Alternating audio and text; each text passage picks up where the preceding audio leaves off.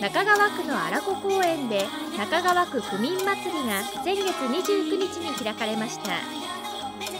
中川区荒子は戦国武将前田利家の生誕地とされており今年は歴史と縁をテーマにしたさまざまなブースが並びました。戦国横丁縁というエリアではブースをめぐってキーワードを集めるラリーや折り紙を使った兜作りが人気を集め子どもたちが可愛らしい武将姿を披露していました。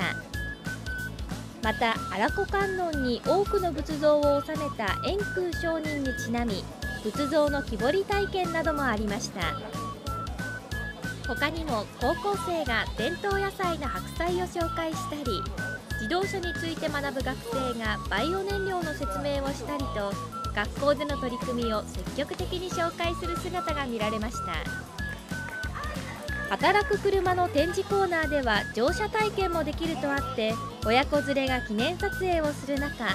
河村隆市長も訪れ一緒に写真を撮るなどにぎわいを見せていました。区民祭りの会場では介護フェアも合わせて開かれ健康チェックや病気の予防も呼びかけていました。